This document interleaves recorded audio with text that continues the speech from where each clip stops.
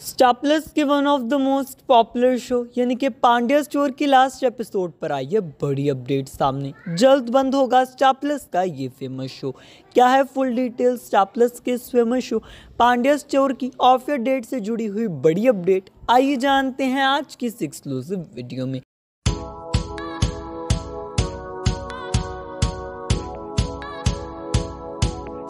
Well आपको बता दें, लंबे वक्त से स्टार प्लस का फ़ेमस शो यानी कि पांड्या स्टोर अपनी टीआरपी को लेकर चर्चा का विषय बना हुआ है। लंबे वक्त से शो की टीआरपी में खूब डिक्रीजमेंट देखी जा रही है, जब से मेकर्स ने इस पॉपुलर शो में जनरेशन लीप के बाद न्यू स्टार्स को एड लीडिंग कास्ट के तौर पर इस शो में इंट्रोड्यूस करवाया। आपको बता दें, शो की लीप से पहले शो में मल्टी स्टार कास्ट थी, जिसने कि ऑडियंस का खूब ध्यान अपनी ओर खींचा था और शो का हर एक किरदार एक आइकॉनिक किरदार बन गया था।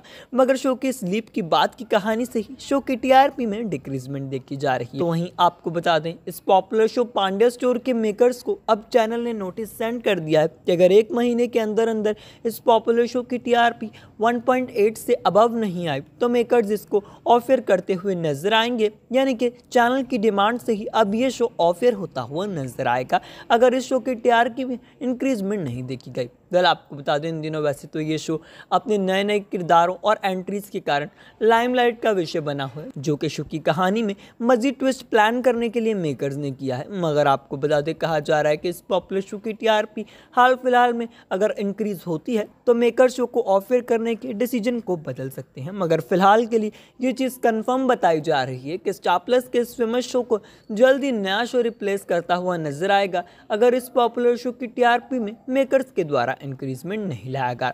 तो वेल आप इस पॉपुलर शो पांड्या स्टोर को और फिर होते देखना चाहते हैं कि नहीं वेल अपनी राय शेयर कीजिए। नीचे कमेंट सेक्शन में इस वीडियो को लाइक कीजिए और चैनल को सब्सक्राइब कीजिए। इस शो की हर अपडेट के लिए। Thank you